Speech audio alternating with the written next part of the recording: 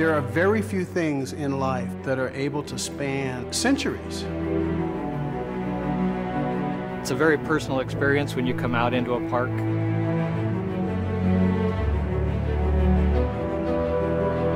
Amazing. We've never been that close before.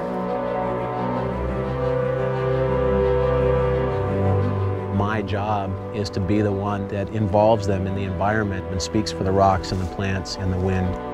Oh wow, this is amazing. We preserve state parks to remind ourselves where we have been so we can keep oriented to where we want to be going.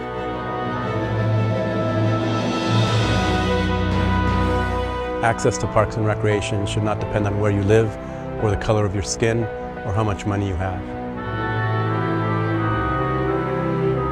To see the next generation of people coming out has been really inspiring.